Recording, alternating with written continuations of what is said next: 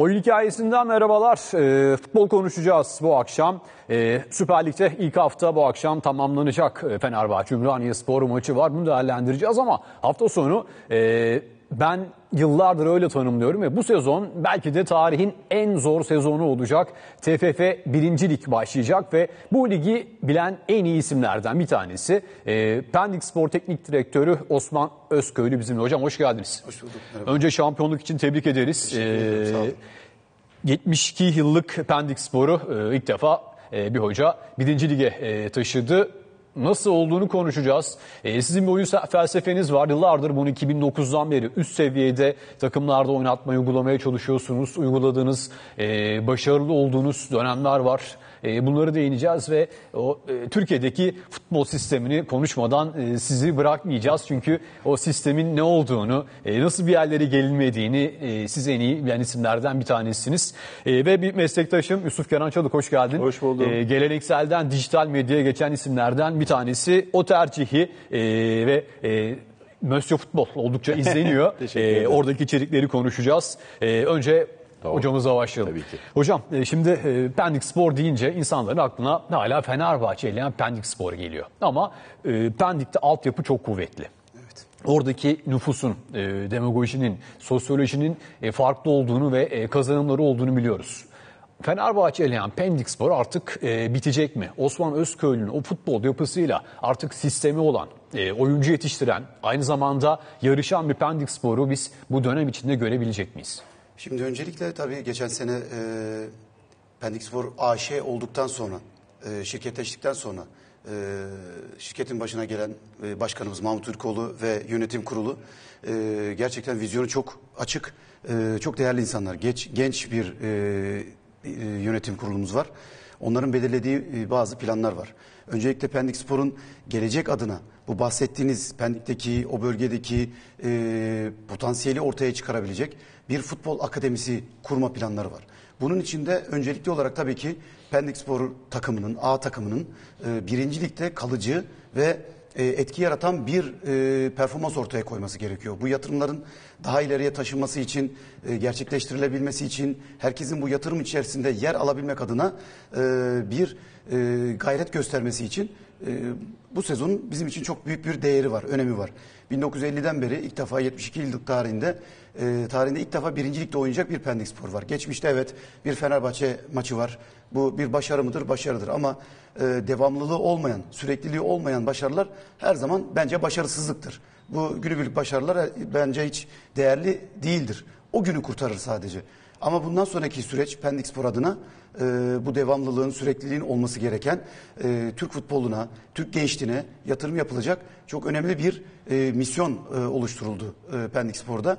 Bununla ilgili çalışmalar yapılıyor. Şu anda yeni tesislerimiz yapılıyor. Biz şu anda e, yeni tesislerimizin bitmesini bekliyoruz. Saha zeminlerimiz, her şeyimiz yeniden yapıldı, hibrit yapıldı, antrenman sahalarımız. Ee, yeni tesisimiz yaklaşık 8 ay, 1 sene gibi içerisinde tamamen bitecek. Yeni stadyum e, projesi var.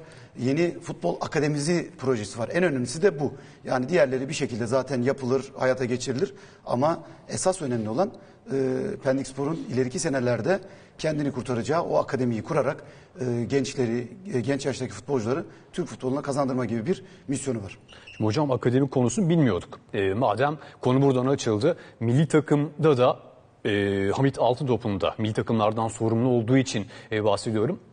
En sık dile getirdiği konu akademi zorunluluğu şeklinde.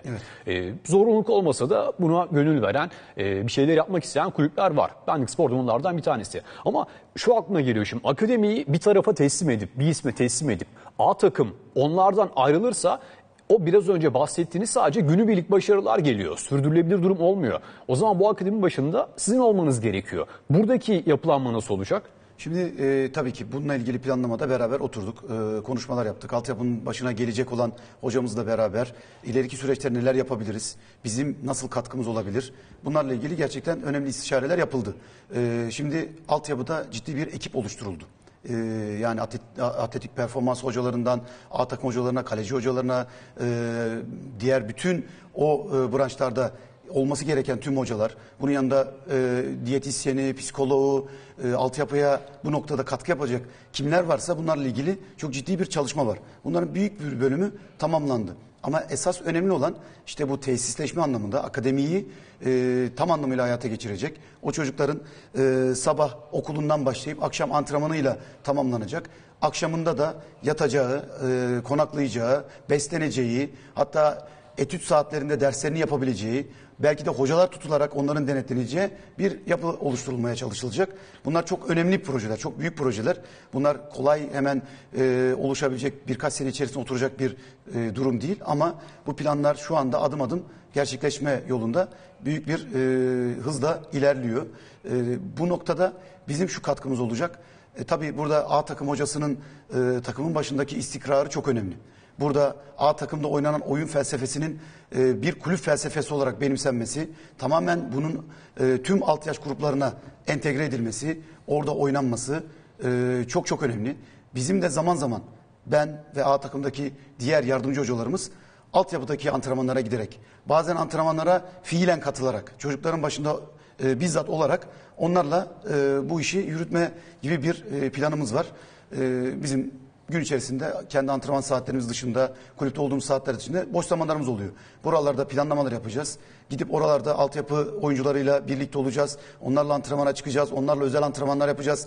Onlardan e, bazı oyuncuları sürekli böyle bir e, döngü halinde A takım antrenmanlarını alarak tabii belli yaş gruplardaki oyuncuları, yetenekli olanları, biraz daha ön plana çıkmış olanları A takıma alarak o oyuncuları diğerlerini de onlara özendirerek e, daha böyle keyifli bir şekilde bu işi yürütmeye çalışacağız. Akademi deyince Türkiye'de akla gelen ilk takım e, Altın Ordu. E, Altın Ordu ile bir e, görüşmeniz, bir öyle bir durum söz konusu bir iletişim halinde misiniz?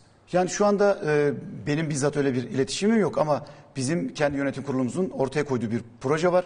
Bununla ilgili de bu projenin başında olacak altyapı koordinatör olarak başında olacak bir hocamız var. Bu işte uzman kişi e, kendi ekibini kendi belirliyor. Bütün hocaları e, kendisi e, bizzat orada olması için emek sarf ediyor. E, daha sonraki süreçte planlanan, planlanan e, her şey olduktan sonra biz e, olayın içine dahil olacağız A takım hocaları olarak. Hocam biraz Hüseyin Or- Eroğlu'nun modeli gibi siz bahsettiğiniz A takım teknik direktörünün de süreklilik sağlaması lazım. Hüseyin Hoca 10 yıl çalıştı şimdi bıraktı bu sene. E, herhalde öyle bir model olması gerekiyor. Ya- Devam eden isim Ufuk yıl Kahraman. da. E, 7 yıldır kendisiyle Evet, beraber. evet. 10 yıl bilmiyorum ama ben en az bir 5 yıllık proje yapılması lazım o zaman. Ya şimdi e, altyapıların önem kazanması ve e, A takımlara çıkabilmesi için e, oradaki teknik adamın rolü çok önemli. Oradaki e, uygulanan oyun felsefesi çok önemli. Oyun planı çok önemli. Yani bunun en bariz örneği Barcelona.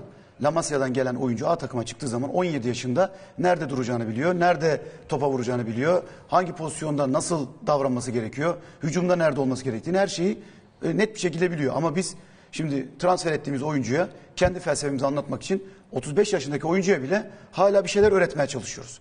Bu işin kötü tarafı. Yani biz biraz işin zor tarafını yapıyoruz. Tabiri caizse ağzımızda kuş tutmaya çalışıyoruz.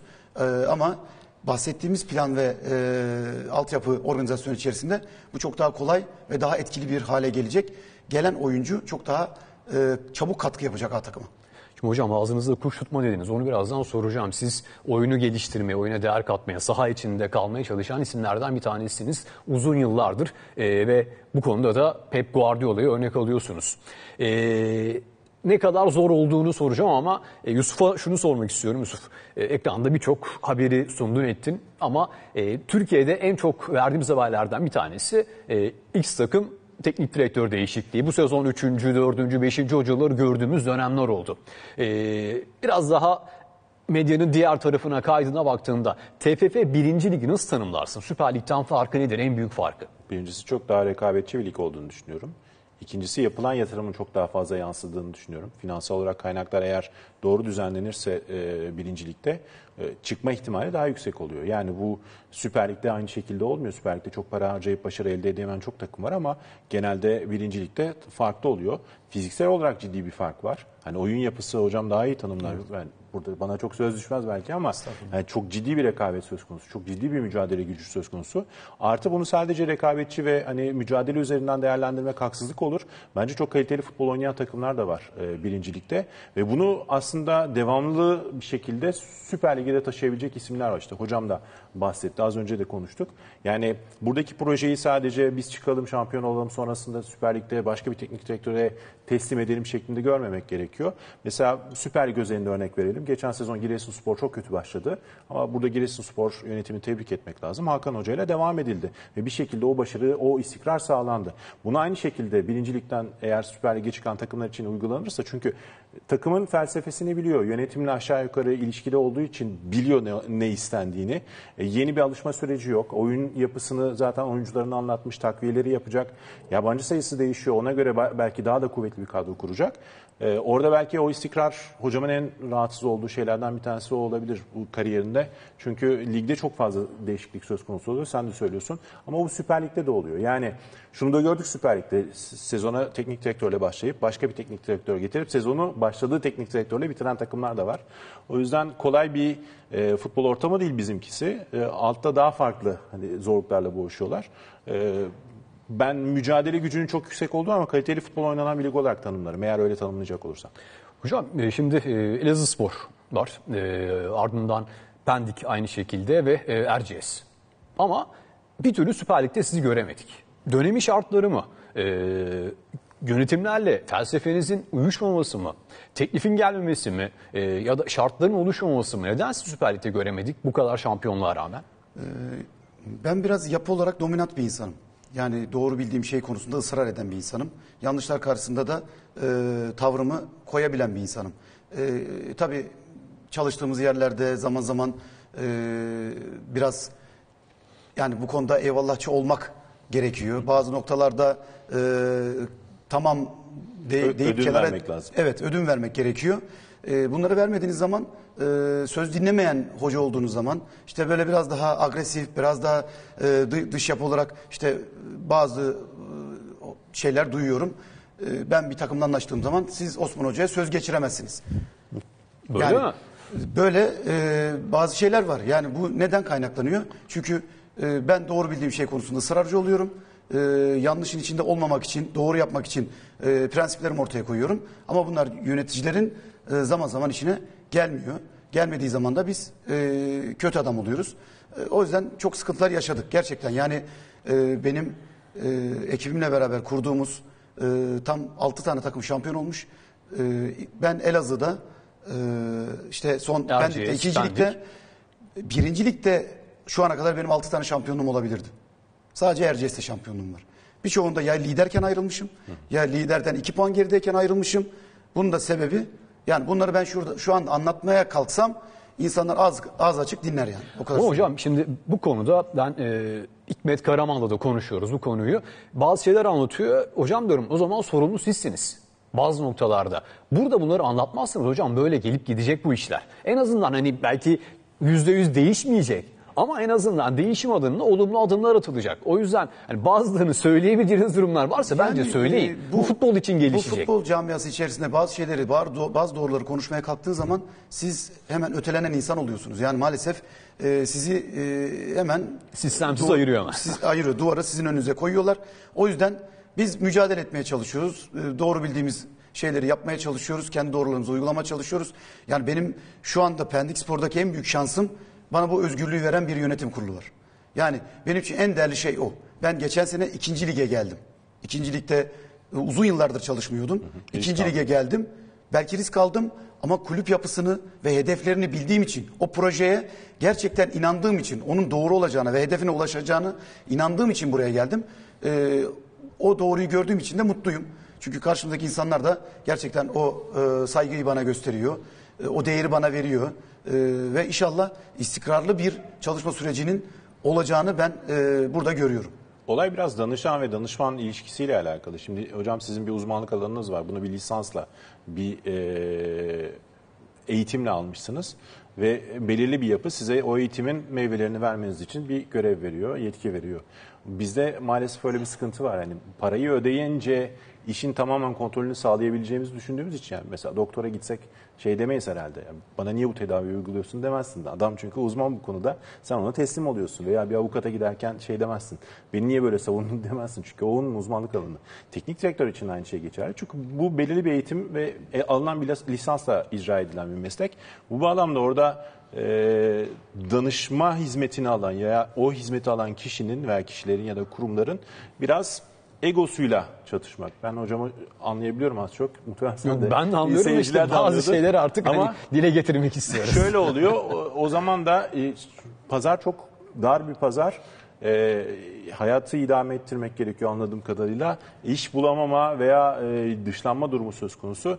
E, biraz zor bunlara anlatmak ya. Kolay bir şey değil bence. Medyada da benzer şeyler yaşanıyor yani. Yaşanıyor ama işte e, futbol o kadar güçlü ki e, baktığımızda e, chartta hep aynı isimler var. Yani bunu kimse hedef alarak e, söylemiyorum ama maalesef böyle dönüyor. Bunun değişmesi adına e, nasıl artık e, kulüpler yasası bir şeyleri zorunlu hale getirdiyse tarihin şu ana kadar en az para harcanan dönemini e, görüyorsak saha içinde de teknik kısımda da bu tür şeylerin olabileceğini düşünüyorum e, sizlerin örneklemeleriyle beraber. Hocam biraz önce dediniz ki e, çok zor bu işi yapmak. Tecrübeli oyuncularla varız dediniz. Şimdi siz o bir pas oyunu istiyorsunuz. Doğru pas oyunu. Topu kaptığınızda hızlı hücum e, ve topu kazanma süresinden bahsediyorsunuz. Ama çalıştığınız oyuncu grubundan, Türkiye'de derler ya e, birincilik, ikinciliklerde e, futbolcunun e, oyun seviyesi çok üstte değildir diye. Alttaki yeteneğini üste taşıyamıyor diye. Siz bunları yapmaya çalışırken gördüğünüz en büyük zorluk nedir? 35 yaşındaki bir futbolcudan bunu istediğinizde ne tepki alıyorsunuz mesela? Ya şimdi tabii herkesin geçmişten kalan alışkanlıkları var. Bunu bir anda yok etmek kolay değil. Bir e, oyuncu kimliği var, bir oyun alışkanlığı var veya sizden önceki geçirdiği sezonlarda farklı hocalarla çalışmış, onların istediği farklı şeyler var. Beyin artık onlara adapte olmuş. Siz bunu tamamen tersine çevirmeye çalışıyorsunuz. Bu kısa sürede hallolacak e, bir konu değil. Onun için uzun süreli e, bir e, iş bu. E, biz bunu değiştirmeye çalışıyoruz. Özellikle pas oyunu, e, topa sahip olma, topu kaybettikten sonra kısa sürede topu geri alma, oyunun bütün hakimiyetini e, genel anlamda elinde tutma. Bunlar hem fiziksel olarak hem taktiksel olarak çok zor şeyler. Bunları oyuncuların benimsemesi, özümsemesi de çok kolay değil. Çünkü e, işin kolayına kaçan, kaçmak isteyen oyuncu yapısı çok fazla. Yani nedir? Ya işte bekleyelim, kendimizi yormadan savunma yapalım. Kaparsak bir hızlı hücum yapalım. Olursa olur olmazsa gene bekleyelim. Bizde öyle değil. Biz oyunu üçüncü bölgede oynamak istiyoruz. Üçüncü bölgede kalmak istiyoruz. Sürekli rakibi bir baskı altında tutmak istiyoruz. Sürekli topa sahip olmak istiyoruz. Burada bunu yaparken ekstra bir enerjiye gerek var. Ekstra bir konsantrasyona gerek var. Bunları doğru şekilde sağladığınız zaman tabii bunu yapmak için de kaliteli, e, teknik becerisi yüksek oyunculara ihtiyaç var. En önemlisi de bu. En önemlisi o. Ee, Serkan Akkoyun'la 2020'de yaptığınız bir röportajda şunu söylüyorsunuz. Türkiye'de topun gerisinde beklemek, topu kaptığında hızlı hücumla atak yapmaya e, alışılmış. Bu tembelliktir e, diyorsunuz. Bu oyuncu grubunu nasıl ikna ettiniz? Tembellikten çalışkanlığa, onu enerjiye o nasıl Şimdi, e, sarf e, ettiniz? Bizim daha önce çalıştığımız takımlardan görüntüler gösteriyoruz. Guardiola'nın yönettiği takımlardan görüntüler gösteriyoruz oyuncularımıza. Yani bu pas oyununun artılarını ne olduğunu. Bir kere pas oyununu oynayan takım, topa sahip olan takım, sürekli hücum yapan takım. Karşıdaki takım sürekli savunma yapmak zorunda olan, sürekli koşmak zorunda olan, enerjisi sürekli koşmaya ve topun peşinde e, enerjisini tüketen bir yapıyı oluşturuyor. Siz topa sahip olduğunuz için sürekli yüksek motivasyonla işinizi doğru şekilde yapabiliyorsunuz. Evet riski var mı bu oyunun? Var. Bizim belli kurallarımız var. Ana maddelerimiz var. Olmazsa olmazlarımız var. Oyunculara bunları anlatıyoruz. O görüntüleri gösteriyoruz. Bunun sonucunda elde edilen skorları, işte oyun içerisindeki e, bütün organizasyonları, bunun ulaştığı noktaları oyunculara gösterdiğiniz zaman, bunu antrenmanlarda yaptığınız zaman iş çok farklı noktaya ulaşıyor. Şöyle bir örnek vereyim. Bizim antrenmanlarımızda oyuncular topa 3 defadan fazla dokunamaz. Asla bizde serbest oyun olmaz. Birinci, ikincilik için çok e, radikal bir durum. Asla olmaz. Çünkü biz şunu istiyoruz. Top gelmeden önce hızlı düşünme, hızlı karar verme, hızlı oynama yeteneğin gelişsin. Yavaş oynadığın zaman baskı altında kalırsın. Rakip sana daha çabuk müdahale eder. Veya topla fazla driplik yaparsan topu kaybetme riskin artar. Rakipten baskı yeme, riskin artar ve kontratak yeme riskin artar. Bunları ortadan kaldırmak için oyuncuların saha içerisinde belli konumları var. Bu konumları kaybetmeyecekler. Ee, bizim matematiğimiz var. Üçgenler ve 2-3-5. Bizim oyun sistemimizin ana felsefesini oluşturan noktalar bunlar. Ee, bunlar noktasında asla taviz vermeden bunları doğru şekilde uygulamak bizim oyun prensiplerimizin en önemli noktası. Bir de felsefeyle ilgili sanırım e, yani nasıl ikna ettiniz bu felsefeye? Futbola başlayan veya futbol oynayan hepimiz oynamışızdır herhalde. Bu, yani topla haşır neşir olmak, topun kendisine kalmasını istemesi aslında futbolun temelinde olan var olan şey diye düşünüyorum. Yani bir futbolcuya sen 90 dakika savunma yapacaksın demektense sen topa sahip olacaksın ve üreteceksin demek sanki ilk çocukluktan itibaren aşık olduğu oyunu tekrar tanıtmak gibi bir şey. O biraz daha Şimdi artı e, gibi geliyor be- bana. Bilmiyorum. Bekleyerek oynayan takımların e, maç boyu pas ortalaması maksimum 200 250 arasındadır maksimum. 90 dakika boyunca. Bizim oynadığımız sistemde biz zaman zaman en yüksek rakamlara ulaştığımız nokta 700-800 bandına kadar ulaştık. Daha önceki takımlarımızda. Tabi burada da ulaşacağız ama biraz zaman gerekiyor. Ee, Guardiola'nın takımlarında bin pası as- aştığı zamanlar oluyor. Bin. Saha içerisinde bin tane pası e, pasa ulaştığı anlar oluyor. Bu ne demek? Yüzde seksen top sende zaten.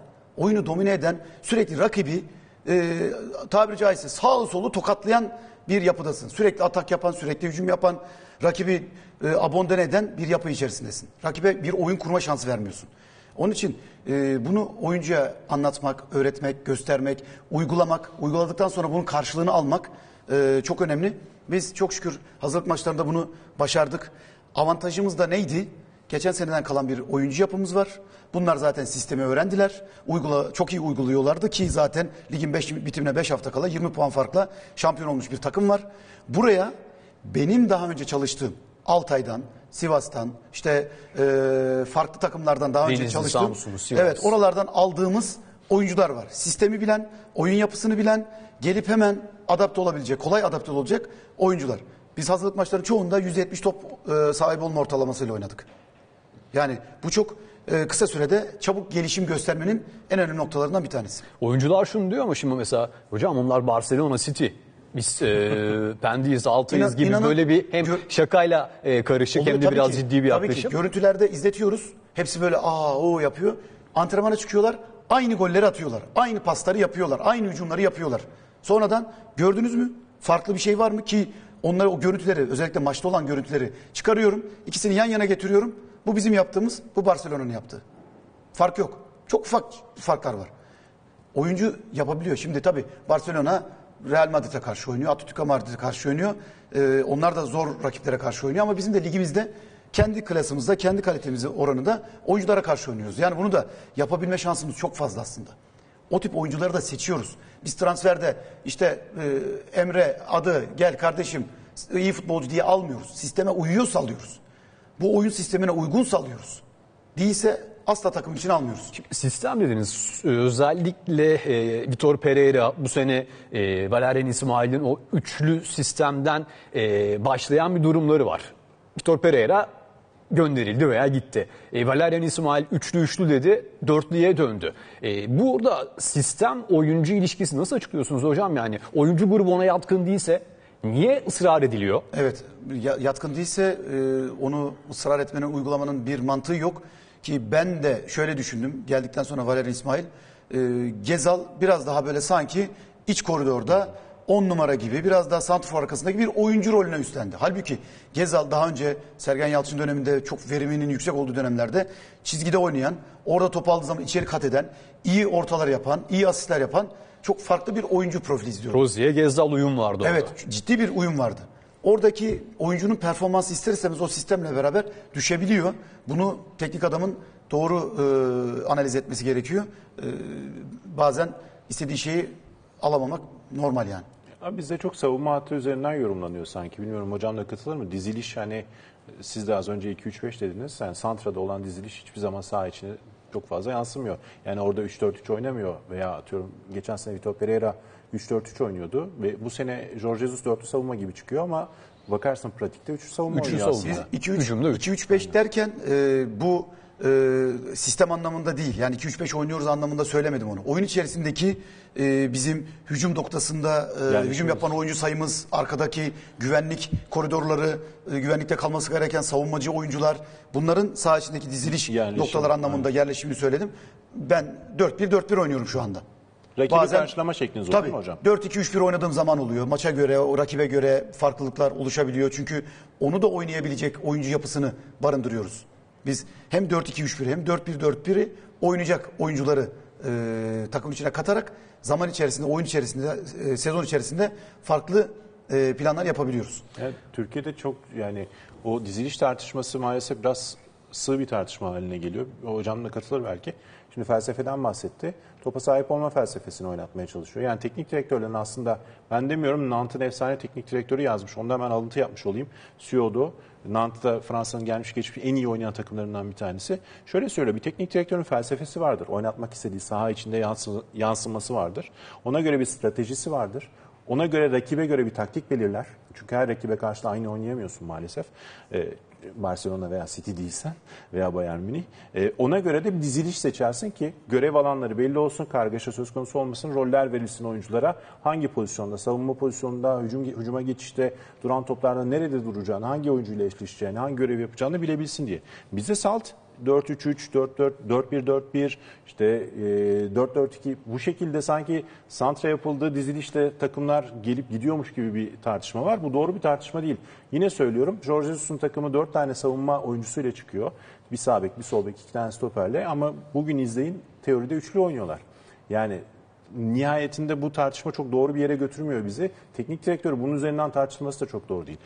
Felsefesini sahaya yansıtabiliyor mu? Oyuncu grubunu en iyi şekilde değerlendirebiliyor mu? O oyuncu grubundan sonucu elde edebiliyor mu? Göze hoş futbol oynatmak bence sizin de isteğiniz bu. Tabii ki. E, göze hoş futbol oynatabiliyor mu? Bunların değerlendirilmesi çok daha doğru. Saha içinde e, bence futbolcular da buna biraz gülüyordur. ha, bu dizilişler, diziliş tartışmasına. Çok doğru bir tartışma değil bence. Özellikle bir de savunma hattı üzerinde sadece yapılıyor bu tartışma. Üçlü mü, dörtlü mü? O zaman hücumda niye üçlü mü, dörtlü mü, beşli mi tartışılmıyor?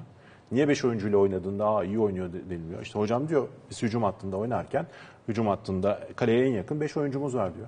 Niye o zaman 5 oyuncuyla oynadığı zaman da takdir edilmiyor da 3 oyuncuyla savunmada oynayınca olmaz deniliyor. Bu tartışma çok doğru bir hani futbol kamuoyu açısından çok doğru bir tartışma değil diye düşünüyorum. Ee, doğru bir tartışma değil çünkü doğru anlatılmıyor. Evet. Ee, istenenin burada ne olduğunu bilmiyoruz. Sonuç gelmediğinde başarısızlık değil. Evet. Israr edeceğiz, ısrar edeceğiz. Ondan Bu sonra bu ortaya de çok çıkacak. doğru Gu- anlatılıyor. Guardiola, Gu- Guardiola zaten yöneticilere böyle bir şey anlatma şansın yok. Zor değil mi? Orada öyle bir şey çok Zor mümkün değil. Çünkü onların bakış açısı farklı olabilir. Onların kafasındaki futbol e, daha değişik olabilir. Onların futbol aklı farklı olabilir. Biz farklı şeyler düşünüyoruz. Biz belki e, 50 çeşit, 100 çeşit farklı şey düşünmek zorundayız o an içerisinde. E, Guardiola zaman zaman şey maçlarında, Liverpool maçlarında öndeki Mane'yi, Salah'ı durdurabilmek için 3-2-5 oynuyordu hücumda. Arkada üçlü bırakıyordu. Normalde dörtlü oynayan e, bir teknik adam e, bu üçlüyü bırakırken sol beki hücuma çıktıysa iki stoperle beraber sağ bek kalıyordu. Sağ bek çıktıysa sol bek kalıyordu. Yani mecburen oyun içerisinde rakibe göre bazı e, değişiklikler Hamle yapmak, hamleler yapmak zorundasın. Barcelona'daki ikinci döneminde yanlış hatırlamıyorsam eee topa %90 sahip olduğu La Liga maçlarında 2-6-2 bile vardı. Pique ile Puyol'u bırakıyordu. Kanatlara özgürlük veriyordu. Hafiften bir ay şeklinde onu net bir şekilde görebiliyorduk. Bu da çok var. uç bir örnek Guardiola. Yani hocam ta- takdir ederseniz Kesinlikle, bazen kesinlikle. o izlerken ne yaptığını anlamak için bir 10 dakika izlemek gerekiyor. Yani sizin için muhtemelen değil ama Benim- bizim için öyle. Benim oğlum da Guardiola'yı, City'yi çok takip ediyor. Dün beni aramış. Baba diyor seyrediyor musun e, City'nin maçını West Ham'la? E, iki tane beki diyor. İçeriye almış 6 numara gibi kullanıyor diyor. Kenarları tam çizgiye açmış diyor. 8 numaralar diyor. Santrfor'un yanında diyor. Gene değişik bir şeyler bulmuş diyor. Yani e, çok- çok geliştiriyor Çok enteresan şeyler yapıyor. Santrfor'suz oynayan bir adam. De Bruyne'u, Foden'ı Santrfor'a koyup oynayan bir adam. İlkay bile İlkay oynadı. Gündoğan. İlkay yani şimdi biz böyle bir şey yapmaya kalksak orta sahada e, İlkay bir 6 numara gibi 6-8 gibi bir Tabii. oyuncu. Onu sa- 6-8'i santrfora koymaya kalksan Çıldırdınız bizi mı kapının önüne derler. koyar. yani düşünebiliyor musunuz? Öyle hocam. Kendi kitabında Kesinlikle. şeyden bahsediyor. Bir de oyun felsefesi lige göre de çok değişiyor. Barcelona'da maç başına 3 orta yapıyorlar. Bayern Münih'e gidiyor. Oyun değişik orada farklı oynanıyor. Özellikle kontratak çok hızlı yapılan bir lig La Liga'ya göre. 21 orta yapıyoruz diyor. Kenarlardan daha fazla gelmeye çalışıyoruz. Çünkü merkeze kaybettiğimiz zaman daha hızlı kalemize iniyorlar. Premier Lig'e geliyor. Bir açıklaması var hocam siz de görmüşsünüzdür muhtemelen. Sen de o kadar çok havadan oynanıyor ki top. Topun hiç yere indiğini anlayamıyorum. O yüzden başka bir plan üretmem gerekiyordu. Yani ona göre de adapte olmaya çalışıyor. Çok uç bir örnekten bahsediyoruz. İlk, yani ilk senesinde, ilk, ilk e, City'ye geldiği senede City çok gol yedi. Normalde Guardiola takımlarının o kadar gol yemesi e, normal bir şey değil, alışık olan bir şey değil. Gazetecinin bir ertesi sene bunu düzeltiyorlar. Gazeteci soruyor, neydi sorun, e, nasıl çözdünüz bu problemi diyor. Geçen sene diyor, baktık diyor, topu kaybettikten sonra geri alma süremiz çok uzundu diyor. Çok fazla geçiş oyununa girdiğimiz için diyor, o yüzden diyor e, bunlara karşılık veremedik ve çok gol yedik diyor. Çünkü önde oynayan bir takım kaybettiği topu çabuk geri almazsa oyun sürekli geçiş oyununa girer. Geçiş oyununa girdiği zaman o tempoyu uygun oyuncunun yoksa problem yaşarsın savunmada.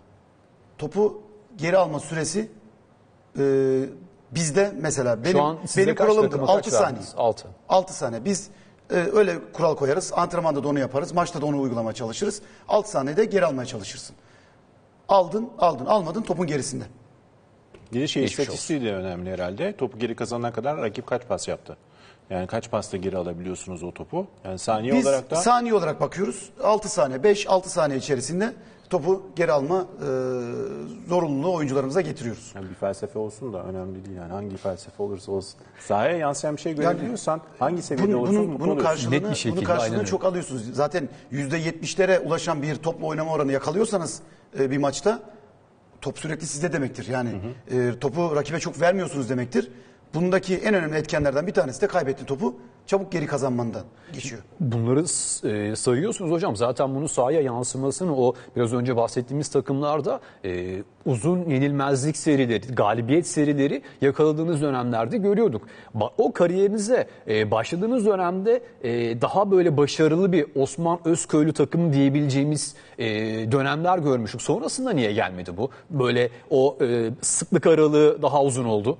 Yani şöyle e, birkaç senelik dönem içerisindeki gitmiş olduğumuz takımlardaki oyuncu profili, oyuncu yapısı, sonradan gittiğimiz takımlarda e, bazı problemler yaşamamıza sebep oldu.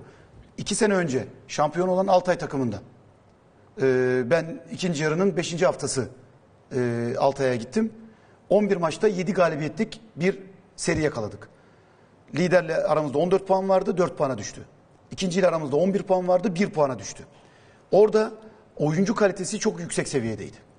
Hep Süper Lig seviyesinde o, o seviyeleri görmüş. Oyuncu kalitesi, oyuncu kültürü, aklı, yabancısı, aklı. yerlisi hepsi üst seviye oyuncular olduğu için verdiğiniz şeyi hemen alabiliyordunuz. Ama bazı yerlerde, bazı takımlarda e, bu kolay olmuyor. Süreç uzun oluyor. Bu süreçte uzunluğu sonuçsal anlamda size bir şey getirmediği zaman e, doğal olarak teşekkür Ömrünüzü ederim. kısaltıyor. Ömrümüzü kısaltıyor yani. Sistemle ilgili bir soru soracağım. Şimdi bu sezon federasyon, e, Mehmet Büyükekşi Federasyonu e, birincilikteki playoff sistemini değiştirdi. Evet. İlk iki doğrudan geliyor, 3 bekliyor, e, 4-6, 4-7, 5-6 ile playoff oynayacak. Evet. Kazanan takım üçüncülükle şampiyonluk maçı oynayacak. Yıllardır e, sahadasınız hocam. Bu sistem garip değil mi? Ya da bize mi garip ya da bana mı garip geldi? Yani rekabetçilik sistemi mi getiriyor yoksa bir takım kayırmacılık sistemi mi? Diye soracağım. Yani e, baktığınız zaman e, öncelikli olarak biraz daha rekabeti e, desteklemek gibi görünüyor. Çünkü yedinci olabilmek için e, yani özellikle o banttaki e, ilk altının dışındaki 7, 8, 9, 10 belki 11, 12'ye kadar çok arada e, makas açık olmuyor. Oradaki her takımın işin içine dahil edebilmek için ligin sonunda oluşabilecek her türlü dedikoduya, her türlü başka yanlış işlere çok fazla meydan kalmaması açısından herkesin lig içerisinde yer alabilmesi için, ligin sonuna kadar ligin içinde yer alabilmesi için düşünülmüş bir e, sistem gibi geliyor bana. Sizce olumlu bir sistem mi? Buradaki en büyük sıkıntı üçüncü olan takımda. Evet. Çünkü diğerleri 3 maç oynayacaklar. Senin karşına gelecekler. Sen 15 gün yatacaksın. Aynen. O arada hazırlık maçı oynama şansın yok. Ligin sonu. Böyle bir imkanın yok. Ee, bir e, ligden soğuyacaksın. Maçtan, Rehavet çökebilir. maçtan uzaklaşacaksın. Bir tatil havasına gireceksin. Zaten sezonun verdiği bir yorgunluk var. Bu bir üçüncü takım için risk getirebilir. Ee, ben de oradan düşünüyorum. Üçüncü takım hani oynayan takım açılır. siz iki günde maç oynayacaksınız, takım morallenecek, geriden gelip kazanacak, e, futbolcular daha birlik olacaklar. Bir anda hani istediği kadar PAF takımla maç yapsın, maç yapsın, rezerv takımla maç yapsın ama resmi olmadığı için o grup da düşecektir. Bu bana biraz e, de mantıksız şimdi- geldi bir de- bir de açıkçası. üçüncü olan Yıllardır takımın- alışık olduğumuz sistemden Üçüncü olan farklı. takımın şöyle bir handikapı oluyor her zaman. Ben iki defa üçüncü olan takımlarda playoff'ta eğlendiğim için eee Osmanlı Spor döneminde 23 hafta lider gittik. Ligi üçüncü bitirdik. Eee, direkt çıkamamanın verdiği bir motivasyon kaybı sizin playoff maçlarına hazırlanmanızı olumsuz etkiliyor. Yani Geri- geriden gelenler biraz daha geriden gelenler Daha daha, avantajlı. moralli, daha avantajlı, eee, daha böyle eee, iş sıcak onlarda. Daha keyifli oluyor onlar. Sen rezerv takım dedin. Aslında ben yapısal olarak bunu da sormak istiyorum eğer müsaade Tabii edersen. ki. Rezerv ligin kuruluşu sizin liginizi sizin ligdeki e, futbol ortamını e, etkiledi mi? Çünkü rezerv ligde şu an Sü- Süper Lig'de oynamayan, daha süre bulan oyuncular zaman zaman şanslarını kiralık olarak bir alt ligde deniyorlardı. Orada da bir kalite e, sunabiliyorlardı. Şimdi öyle bir durum söz konusu olmayacak ya da daha az olacak. Çünkü takım rezerv ligde de oynatabilecek, hazır tutacak, her an takıma dahil edebilecek. E, bugün e, oyuncu lisanslı oyuncu sayısı da değişti. Doğal olarak bu oyuncular kulüplerinde kalmaya daha fazla devam edecekler. Bu sizin oyuncu transfer sürecinizi etkileyecek mi? Yani Süper Lig'den az süre bulacak. Bak burada oynarsan hem tecrübe kazanırsın hem e, maç e, kondisyonu kazanırsın. Seneye takımında daha iyi oynarsın diyebileceğiniz oyuncuları muhtemelen alamayacaksınız hocam. Yani e, o tür oyuncular zaten e, bizim düşündüğümüz, bizim takımımıza katkı yapacak, e, hedefe giden takımlar için e, seçilmiş oyuncular çok orada rezerv ligde Oynamazlar. oynamazlar. Yani o biraz kafa olarak orada onları e, tutamazlar. Çok kolay değil. Oyuncu şunu der. Ben rezerv ligde oynayacağıma, yedek takımda o psikolojiyle kendimi aşağı çekeceğime gideyim birinci ligde üst seviye bir takımda daha iyi hedef olan, e, sahada iyi oynayan bir takımda e, oynayıp sezonu dolu dolu geçireyim diye düşünür. Ben öyle e, tahmin ediyorum. İnşallah dediğiniz gibi olur. İnşallah. Aynen Ya o bir rezerv ligi biraz daha genç oyuncuların özellikle işte altyapıdan gelip de 19-20'li yaşlara ulaşıp e, ama kulübün umut vaat ettiği, dışarıya vermek istemediği oyuncuları orada değerlendirmek adına kurulmuş. Havuzda toplamak, e, bir havuz evet. Evet ben Yani öyle düşünüyorum. İnşallah doğru olur. Yani ismi doğru da uygulama şu an E, senin söylediğin konusunda sistemle Ben biraz ben çok sağlıklı olacağını düşünmüyorum. aynı fikirdeyim. Ee, yani çok bir katkısı olacağını kulüplere düşünmüyorum. Ekstra bir e, şey külfet bence kulüpler için. Mali külfet. Mali külfet yani buradan kalkacak deplasman gideri, e, uçak parası ki bu ekonomik yapı içerisinde her şeyin ateş pahası olduğu bir dönemde bir deplasman maliyeti baktığınız zaman en az 100 bin lira. Daha bile fazla olacak. Belki fazla en az diyorum en böyle biraz daha basit bir otelde kaldı çocuklar.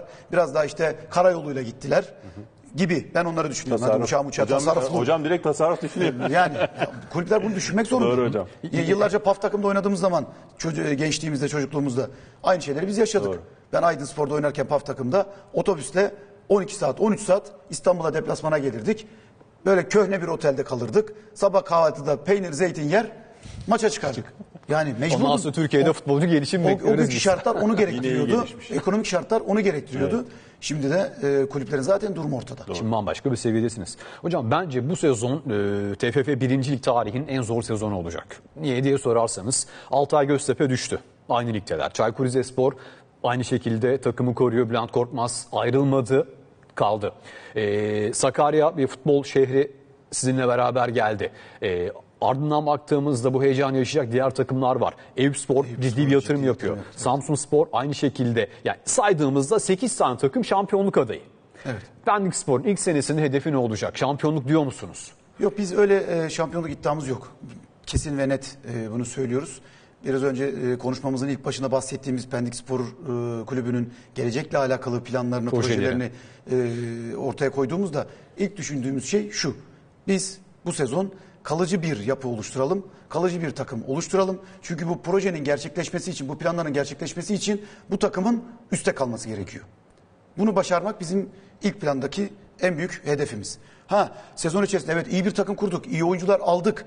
Ee, ben hiçbir zaman iddiasız olmadım. Her zaman iddialı bir teknik adam oldum. Her zaman yarışmacı bir teknik adam oldum. Ee, takımımı yine bu yarışmanın içinde sokarım. Ama e, ne olur İlk yediği zorlarız. İlk yedinin içinde olmaya çalışırız. Burada playoff'u kola- kovalamaya çalışırız. Ee, şu anda ilk plandaki e, düşüncemiz, hedefimiz Bu. Hocam e, ben şu an hayallerimdeki e, ulaşmak istediğim yerde değilsem sebebi yüksek enerjiden kendime verdiğim zarardır diyorsunuz. Evet. E, nasıl bir kendisine zarar veren bir enerji var? Yani ben bazen son söylenmesi gerekeni önce söyleyen bir insanım. Ee, yani davranışlarında böyle aslında niyeti kötü olmayan ama e, davranışlarıyla, konuşmalarıyla, verdiği tepkilerle e, bir anda olayı farklı bir noktaya ulaştırabilen bir yapım var. Yani e, enerjim evet yüksek. Bu işi gerçekten çok seviyorum. E, çok iyi şeyler yapmak istiyorum. Yani futbol anlamında takımımın sahada gerçekten keyif veren, zevk veren, iyi futbol oynayan, e, herkesin dışarıdan baktığı zaman ya bu takım ne kadar güzel oynuyor, ne kadar iyi futbol oynuyor, e, seyretmekten keyif alıyoruz diyeceği bir takım yaratmak. Bunun içinde de ekip arkadaşlarımla beraber inanın gece gündüz çalışıyoruz. İnanın gece gündüz maç izliyoruz. Özellikle City maçları olduğu zaman bizim için dünya bitiyor. Ee, Barcelona maçları olduğu zaman göre. Barcelona maçları olduğu zaman bizim için şimdi Xavi de geldi. O da Guardiola'dan çok kalır bir tarafı yok. O da aynı e, jenerasyonun e, adamı. E, bunlar bizim için çok değerli, çok önemli. E, o yüzden e, bu işin içinde olduğum süre içerisinde hep iyi şeyler yapmak istiyorum. Enerjim yüksek olmasını istiyorum. Benim yüksek enerjimin takıma, kulübe çok şey kattığını düşünüyorum. Yani çevremdeki insanlara bazen belki antipatik gelebilir. Dışarıdaki insanlar beni öyle görebilir. Sağ kenarındaki kulübedeki davranışlarımla, yapımla e, öyle görebilirler. Ama ben tamamen kendini bu işe e, adamış, odaklanmış, bu işi iyi yapmaya çalışan ve enerjisini bu yönde harcayan bir insanım. E, Türkiye e, futbol ikliminde e, yarın yok, hep bugün var.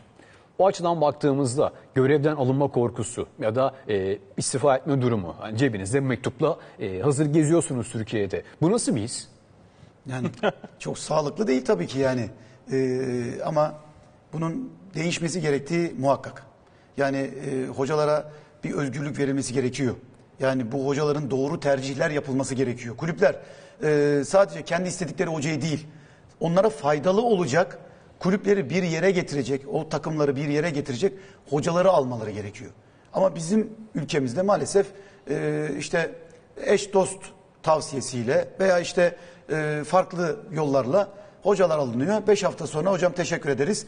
Git yenisi gelsin. Dediğin gibi bir sezonda beş tane hoca değiştiren bir kulüp nasıl başarılı olabilir? Nasıl futbol anlamında bir yerlere ulaşabilir? Bu mümkün mü? Beş tane aynı profil bulman lazım. Şimdi, şimdi olarak. sen geliyorsun hocasın sezona başlıyorsun farklı bir sistemle oyuncu buna tam adapte olacak. Sen gidiyorsun ben geliyorum başka bir sistem. Oyuncu allak bullak oluyor. Her şey sıfırdan başlıyor. Tekrar bir daha başla. O da olmadı. Hadi sen gel. Beş tane hocaya dile kolay. Şimdi bize sezonda iki takım çalışma hakkı veriliyor.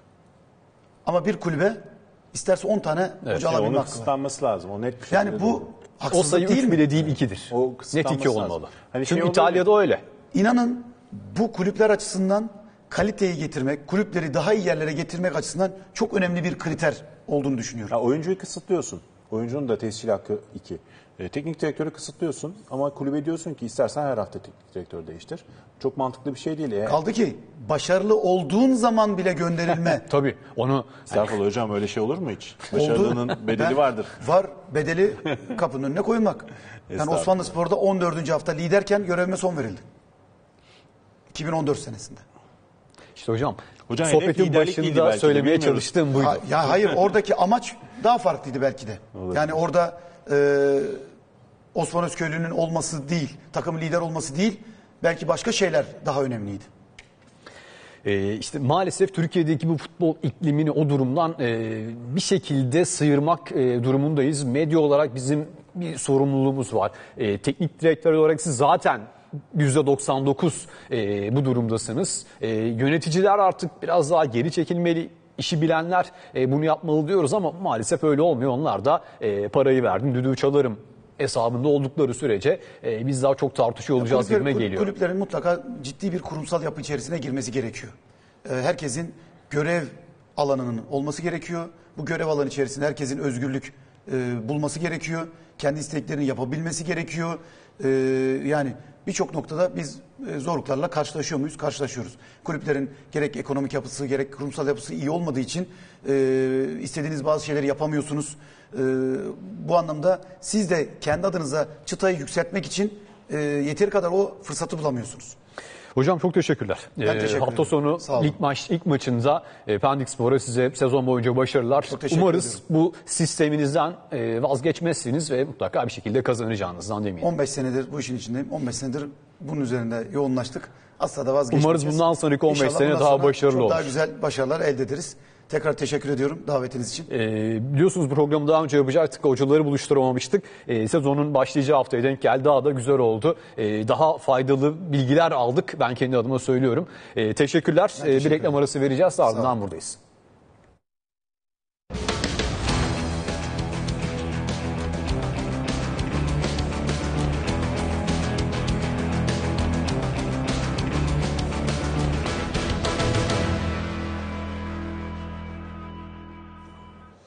Oyun hikayesine devam ediyoruz. Ee, sohbetin geri kalan kısmında Yusuf Kenan Çalık'la birlikteyiz. Ee, e, şimdi Mösyö Futbol e, görüyorum iyi gidiyor.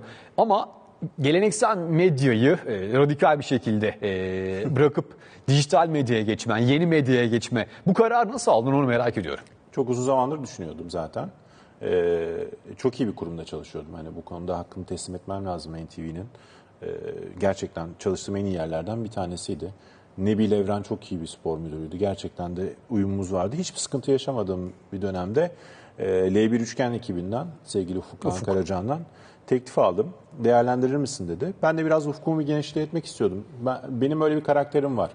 Ee, çalıştığım her yerde bir yer bir yerden sonra daha farklı bir etaba geçmek istediğimi hissetmişimdir. Ee, burada da böyle oldu. Daha farklı bir etapta biraz daha yorumun içinde olup biraz daha kendi istediklerimi söyleyebileceğim, biraz daha kendi e, fikirlerimi belirtebileceğim. Kendi alanımın oluşmasını istedim. Radikal bir karar oldu çünkü sektörde de birçok kişi sordu aslında bu nasıl müsait, nasıl oldu diye, nasıl yap- yaptın diye. Ee, uzun zamandır düşünüyordum. Ben kararlarımı genelde zaten genelde çok uzun zaman düşünerek belirli fırsatlar çıkınca hazır olarak almaya çalışıyorum. Burada da öyle oldu. Ee, şu ana kadar güzel gidiyor. Bakalım. Yani zor bir şey. Dijital medyanın oturması da zaman alacak e, ülkede. Çünkü e, her yeni başlangıç gibi bazı hatalar yapılıyor. Biz de yapıyoruz, ben de yapıyorum. E, öğreniyorum. Ben de sıfırdan başladığımı düşünüyorum bu arada mesleğe. Hani yayıncılık deneyimin tabii ki çok büyük bir artısı var. Ama dijital medyanın dinamikleri çok farklı. Hitap ettiğin kitle ve e, yaş ortalaması çok daha farklı. E, bir de artık şeye geldi. Hani televizyonda seçtiğin programı sonuna kadar izliyorsun. Genelde öyle bir alışkanlık söz konusu oluyor. Ama e, videoda işte met- Sıkıldığı anda evet, metroda, otobüste, herhangi bir yerde açtığın anda 30 saniyede ikna edemediysen o biraz zor oluyor. Hemen gidiyorlar. O yüzden oraya biraz alışmak gerekiyor. Farklı bir e, farklı bir e, kıyafet, farklı bir kostüm. E, benim de işte 8 Kasım'da ayrıldım ben e, NTV'den. O dönemden bu yana kadar e, kanalda açalı 6 ay oldu. Bir şekilde bir şeyler yapmaya çalışıyoruz. Hem L1 üçgen ekibiyle bir şeyler yapmaya çalışıyoruz ki burada teknik direktörleri ziyaret ediyoruz. Futbol anlamında bir şeyler sunmaya çalışıyoruz. Amacımız daha az hakem konuşulsun. Daha fazla saha içindeki anlatılsın. Hani sen az önce söyledin ya bunlar çok anlatılmıyor. E, dilimizden öndünce biz anlatmaya ve anlattırmaya çalışıyoruz. Şu ana kadar da fena gitmedi. Ee, Biz de bu programı yaparken artık o sığ tartışmaların bitmesini istemiştik. O yüzden bu tür e, yapımlar, fikirler çok değerli. E, o konuyla ilgili son sorum şu olacak. Hani son zamanları moda deyimidir ya artık geleneksel bitti. Yaşasın yeni kral, yeni medya. Böyle olduğunu düşünüyor musun gerçekten? İşin iki tarafında da olan bir isim olarak. Geleneksel bitti mi yoksa geleneksel farklı bir boyuta, farklı bir yapıya doğru mu gidiyor? Çünkü gelenekselde de gördüğümüz kadarıyla dijitalleşme çağı başladı ve e, artık biraz izleyicinin isteğine göre hareket ediliyor. Eskiden tek bir kanal vardı. Herkes o kanalın başına geçerdi TRT döneminde ve herkes o kanalı izlerdi. Televizyon böyle bir yapıydı. E, radyodan devralmıştı. Başka bir medya olmuştu. Şimdi başka bir medya oldu. Tıpkı radyonun rolü belliyken bugün hayatımızda televizyonun bence de rolü belli olacak. Dijital medyanın da rolü farklı. Bitme meselesine inanmıyorum çünkü çok ciddi yatırım yapılıyor. Ama e, reklam veren açısından şöyle bir avantaj olduğunu düşünüyorum dijital medyada. E, çok net bir e, rapor alabiliyorsun anında. Hani kaç kişi izlemiş, nereden izlemiş, e, hangi yaş aralığından izlemiş, hangi cinsiyetten izlemiş, hangi saniyeleri izlemiş, hangi saniyede çıkmış, geri dönmüş mü, dönmemiş mi kanala? Bunların hepsini görebiliyorsun. Bu büyük bir avantaj sunuyor. Çünkü reklam veren de ne istiyor? Ürünün en e, doğru yoldan tüketiciye, hedeflediği tüketiciye gitmesini istiyor. O yüzden dijital medyanın böyle bir avantajı var. Bir de dediğim gibi süre avantajımız var. Yani ben 8 dakika video da yapabilirim. Uzunlukları ne kadar videonun? Ne kadar yani tercih etmek değil de e, ne kadar izlendiğini düşünüyorsun? Doğru sürenin ne olduğunu düşünüyorsun? Yani %50 o izlenme ortalaması yakalıyorsan bir videoda hangi süre olursa olsun büyük bir başarı. Tabii bazı kanallar var işte e, eğlence kanalları vesaire onlar 30-35 dakikalık videolar yapıyor. Onda muhtemelen ortalama izleme biraz daha düşüktür ama bizim için spor kanallarında genelde 10 dakika civarında dönen bir video süresi var. Orada 4,5-5 dakikaya yakaladığın takdirde zaten bir başarı elde ediyorsun. Ben onu da oturtmakta zaman zaman zorlandım. Çünkü biz televizyonda nedir? Dolduralım hani konuşalım, konuşalım, konuşalım, hızlı konuşalım. Hani süre boşa akmasın diye. Ee, önce 16, 15, 16 dakika, 20 dakika olan videolar vardı. Şimdi biraz daha kısmaya çalışıyorum. Ee, dediğim gibi adaptasyon süreci çok farklı bir mekanizma. Yani televizyondan çok ciddi anlamda hemen tepki alıyorsun bir de. E, sosyal medya çıktıktan sonra televizyon nasıl değiştiyse dijital medya onun biraz 10-15 katı. Hemen e, artı ya da eksi reaksiyon alabiliyorsun.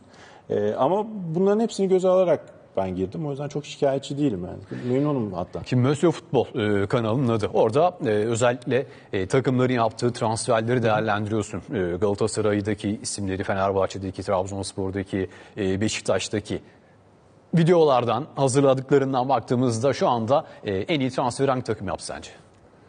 Yani onu biraz kağıt üzerinde değerlendirince çok doğru olmuyor. Şimdi Dries Mertens çok iyi bir oyuncu bu. Benim hayran olduğum bir oyuncu. Tweetlere dönersek 2012 yılından beri attığım çok tweet var. Ama Dries Mertens'in Galatasaray'da ne verebileceğini şu an tahmin edemem. Çok iyi transfer.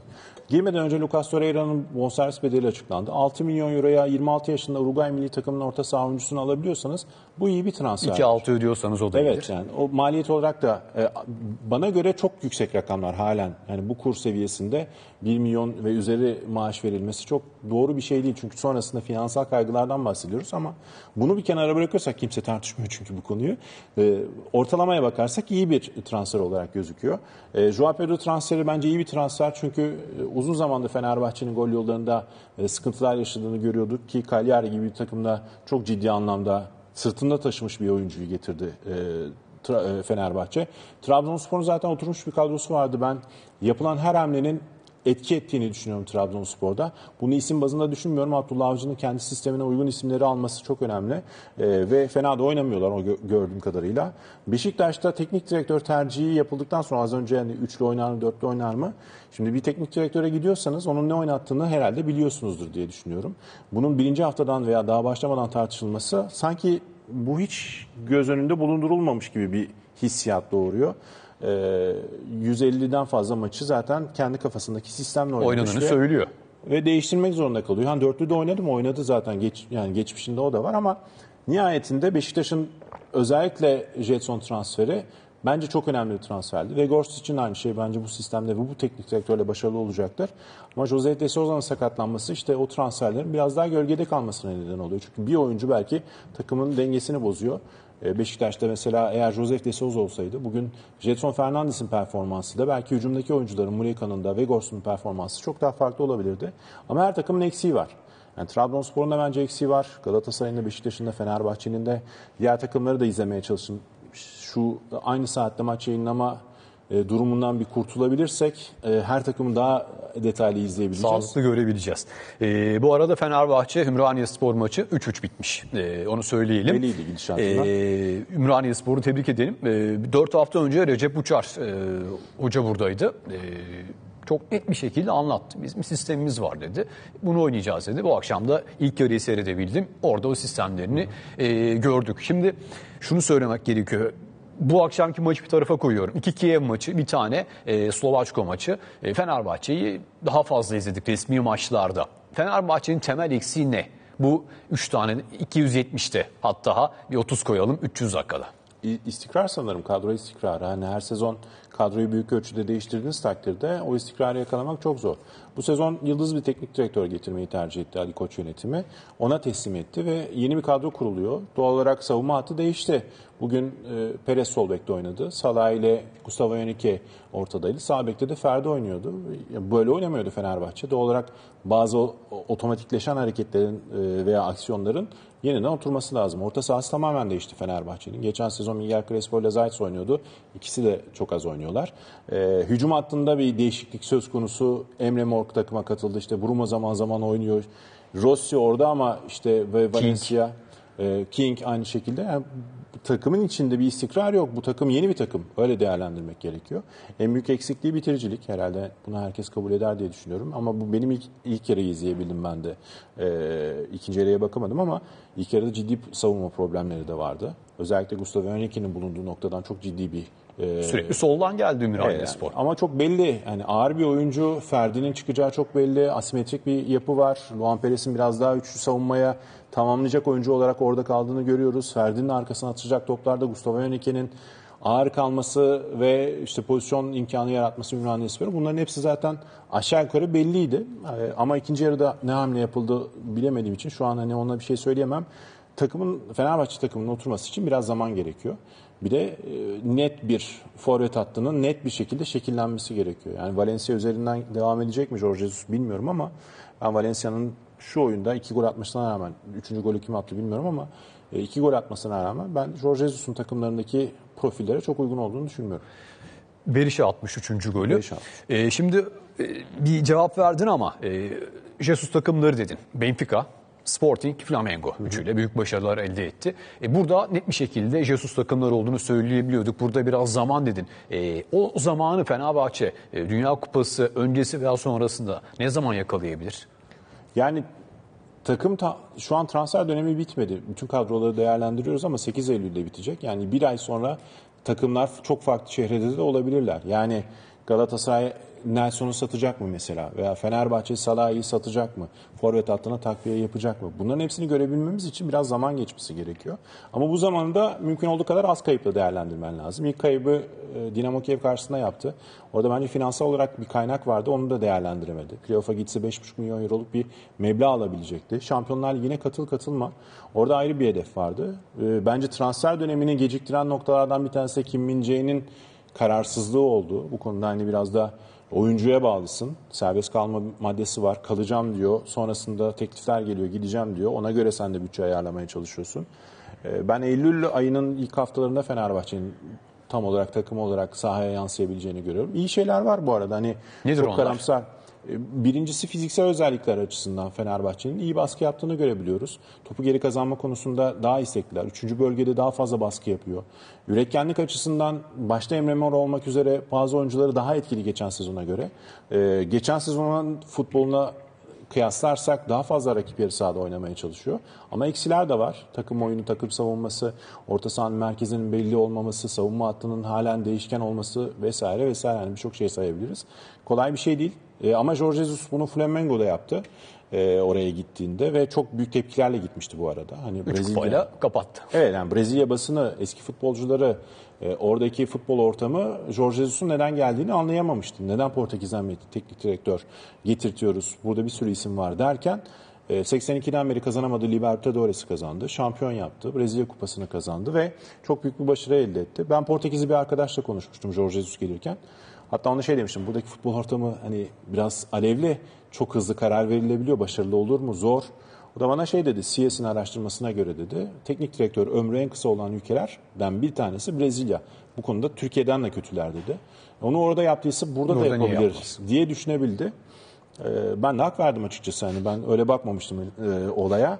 E, ama kolay değil. Yani Fenerbahçe taraftarının çok büyük bir beklentisi var. Uzun süredir şampiyon olamıyor. Ali Koç yönetiminin de bence çok büyük bir beklentisi var. Çünkü e, ne denildi? Patron teknik adam işine karışılmasın vesaire. Getirebileceğini bence en iyisini getirdi bu arada. Bu konuda tebrik etmek lazım.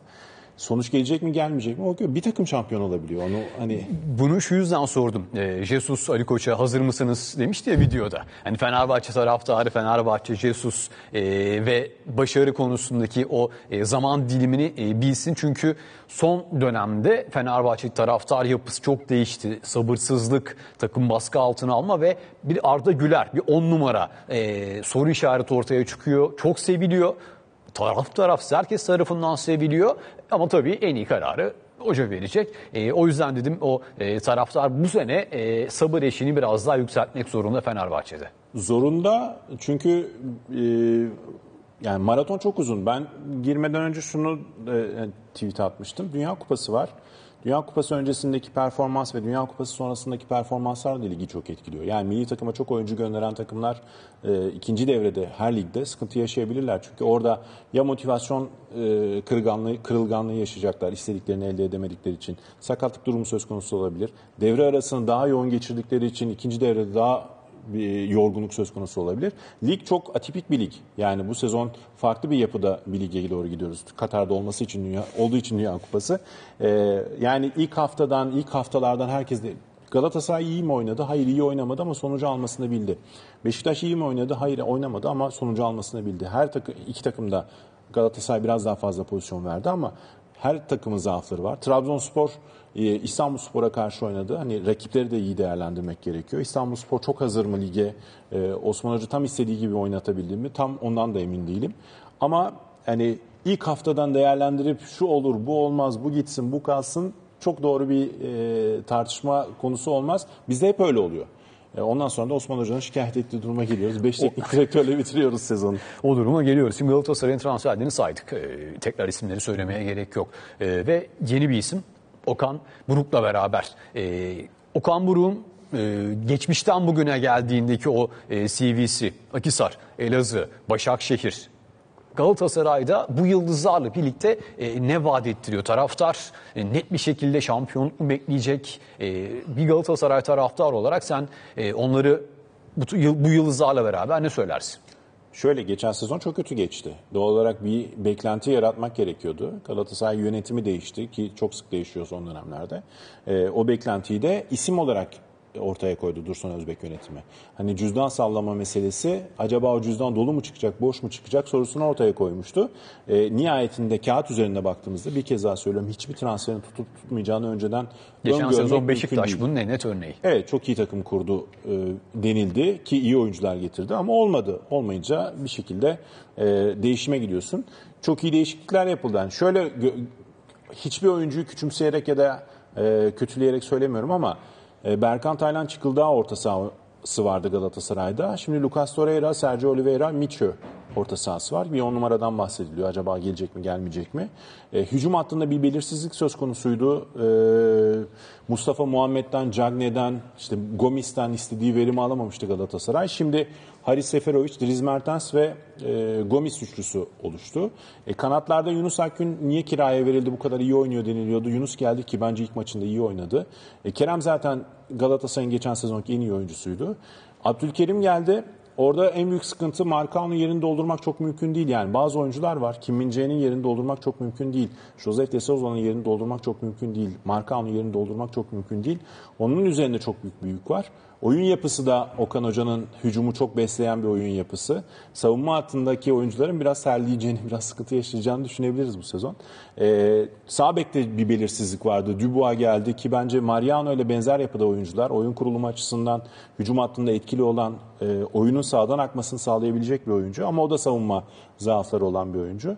Nihayetinde bambaşka bir kadro kuruldu bu kadro kurulurken bir beklenti kadrosuydu. Bu beklentiyi karşıladı Galatasaray yönetimi.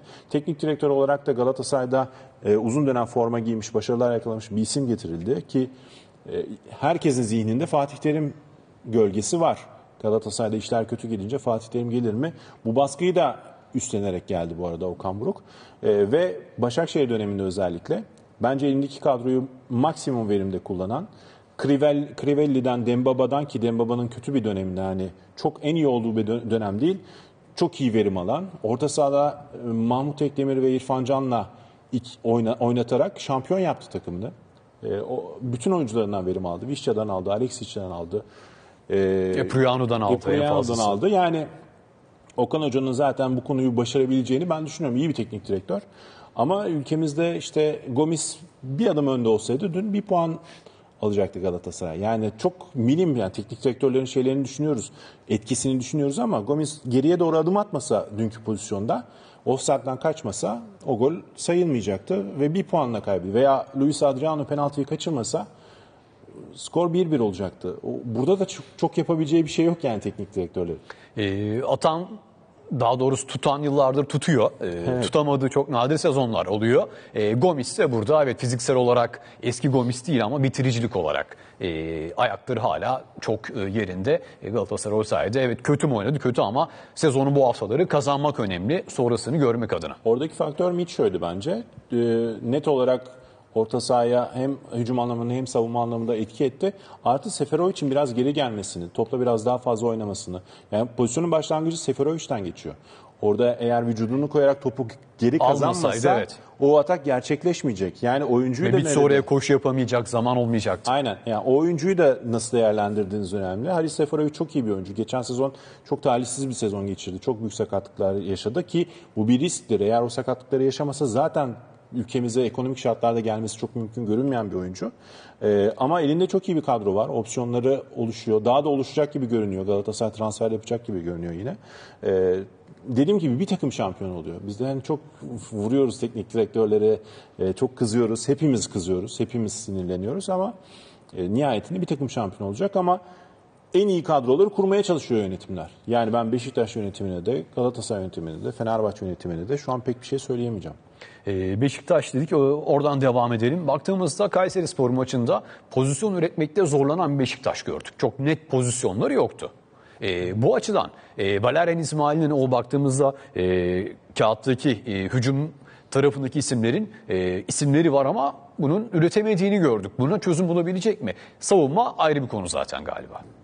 Takım halinde ben bakıyorum futbola. Yani hücum ederken de takım halinde etmeniz gerekiyor. Topu kazanırken de savunma anlamında da. Galata, e, Beşiktaş'ın dünkü e, Beşiktaş'ın oynadığı maçta e, bir dönem, maçın 15. ya da 20. dakikasında Vegors oyunculara çıkın diye hareket yapıyordu. Şimdi siz takım halinde hareket etmediğiniz takdirde dünyanın en iyi futbolcusunu getirsen de o takım eğer topu geri kazanamıyorsa üretken olamaz. Takımı eğer e, futbol nedir? Alan üretme oyunu. Yani belirli bir bölgede senin bir adam fazla olman gerekiyor ya da belirli bir alanı boşaltman gerekiyor. Yani başka bir şey değil tamamen geometrik bir oyundan bahsediyoruz.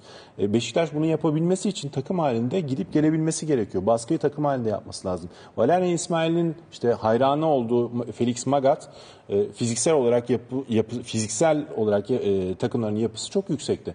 Aynı şeyleri yapmaya çalışıyor. O yüzden antrenman seviyeleri çok yüksek. O yüzden bazen şikayetler duyabiliyoruz oyunculardan. E, ama bunun gerekli olduğunu da görüyoruz. Yani Beşiktaş ne zaman baskıyı çoğaltabildi? Merkezde mesela Jose- Josef de Souza'nın olmaması her zaman büyük bir eksik. Her zaman söylüyorum.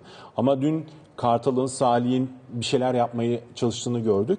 Ne zaman takım halinde e, hücum edebildi. O zaman tehlikeli olmaya başladı. Ne zaman takım halinde rakip yarı sahaya yerleşebildi, topu tekrar geri kazanabildi, baskıyı kurabildi. O zaman başarılı oldu.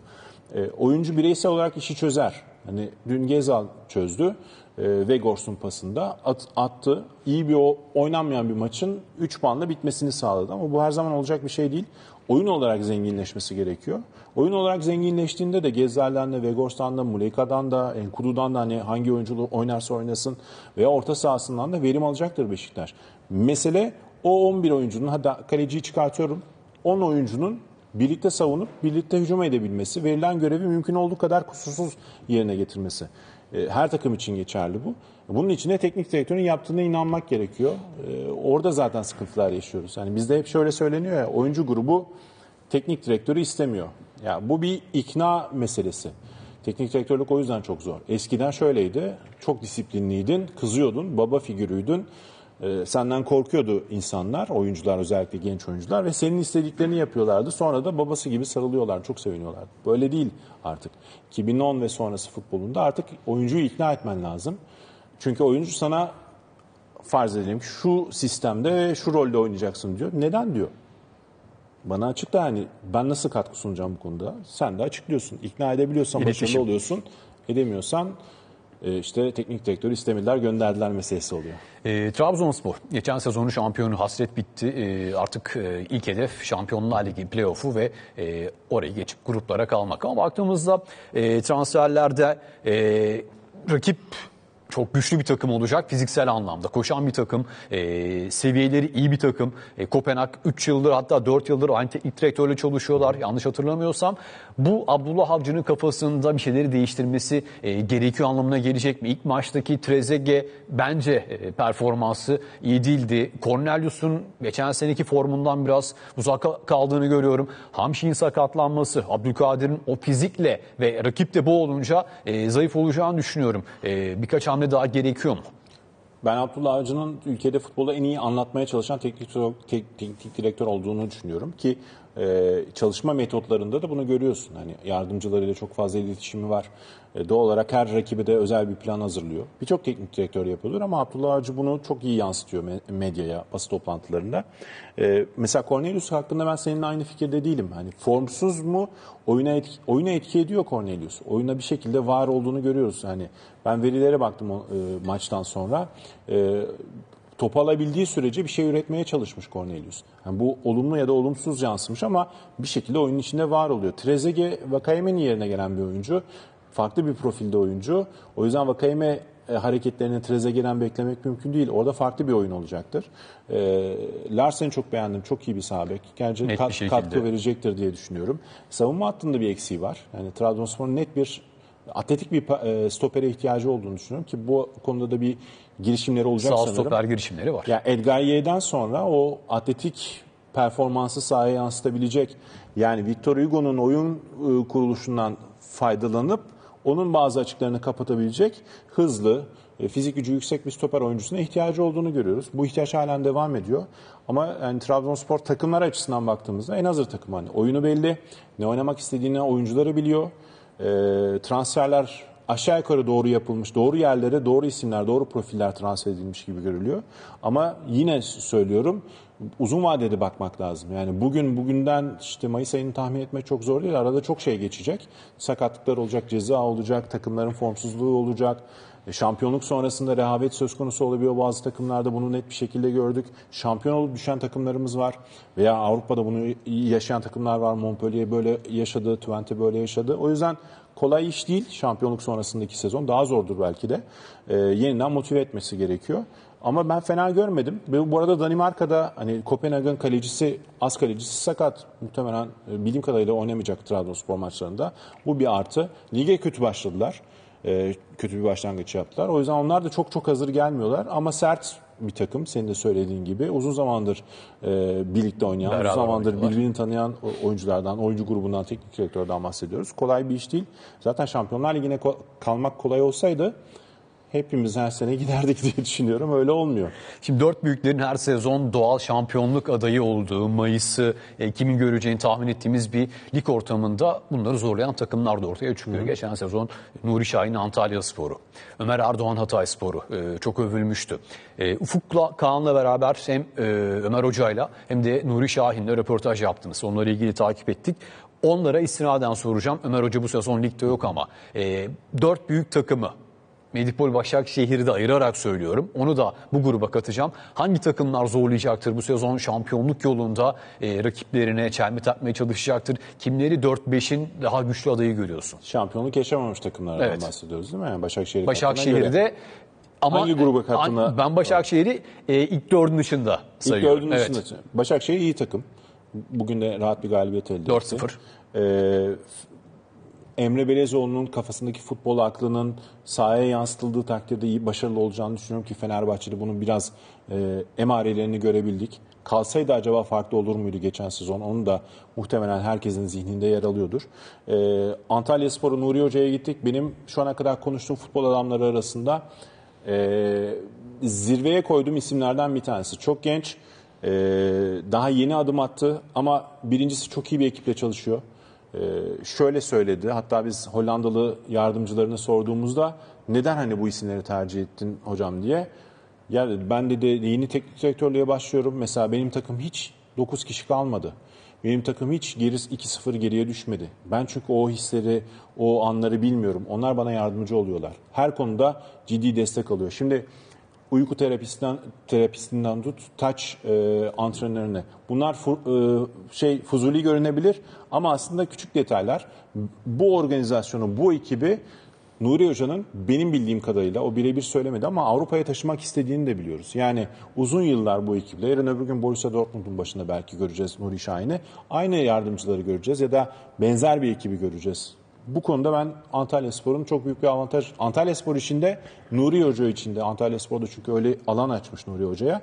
Büyük bir avantaj olduğunu düşünüyorum. Farioli'nin futbol anlayışını ben hep beğeniyorum. Çok eleştiriliyor ama Karagümrük maçında Bence hiç fena oynamadı e, Alanya Spor. Çok hızlı çıkışları vardı. Karagümrük'ü de tabii tartışabiliriz o konuda. Hep rakibe göre bakmak lazım. Ama geçen sezona nazaran çok daha hızlı çıktığını, çok daha düzenli çıktığını görüyoruz. Yine risk alıyorlar geride ama bu futbol anlayışı bunu gerektiriyor. Bu riski almaya da devam edecek. Benim göz, gözüme hoş gelen futbollardan bir tanesi. E, Sivas Spor'dan büyük bir beklentim vardı ama Rıza Hoca'nın da kabul edeceği gibi diye düşünüyorum. Basit goller yiyoruz diyor hep her seferinde. Ee, Biraz hani e, takım savunması ile ilgili sıkıntılar olduğunu görebiliyoruz. Üretkenlik de sıkıntılı. Ondan sonraki takımlara da biraz bakmak gerekiyor. Çünkü e, yine ilk haftalar yine çok transfer yapıldı. Biz de biliyorsun hani takım %80'i falan değişiyor her transfer döneminde. E, izlediğim kadarıyla yani ilk hafta beğendiğim takımlarda Antalya Spor'un futbolunu çok beğendim. Kaybetmiş olmasına rağmen çok zor bir takıma karşı oynadı. Galatasaray'a karşı oynamak kolay değil. Alanya Spor'u çok beğendim. Ee, onun dışında böyle süper diyebileceğim, çok iyi diyebileceğim bir takım olmadı. Bunu Trabzonspor'u dahil ederek söylüyorum bu arada. Ee, dediğim gibi ikinci 45 izleyemedik ama e, Ümraniye Spor'un e, geriye düşmesine rağmen tepki İlk vermesi yarı çok iyiydi. e, çok değerliydi. Böyle bir sezonun ilk maçın Süper Lig'in ilk maçında Fenerbahçe'yle oynamak deplasmanda 40 bin taraftar önünde oradan çıkmak kolay değil. Birinci O dakikada yüzden- pozisyon buldular. Yani e, ve atamayan hatalar oldu orada. E, Evet. 2-1'den önce Ümraniye o pozisyonu değerlendirse maç başka bir yere gidecekti Doğru belki de. Yusuf Kenan çok teşekkür ederim. Ben teşekkür ederim. Zamanı ayırdın. E, içeriklerini takip edeceğiz. E, ve onların da e, iyi gördüğünü biliyoruz. E, o tarafta da artık e, büyük bir e, hayat var. E, onu göz ardı edemiyoruz. Çok teşekkürler Ben sana. teşekkür Başarılar ederim. bu yolda. Çok teşekkür ederim. Oyun hikayesini noktalıyoruz. İyi geceler. Hoşçakalın.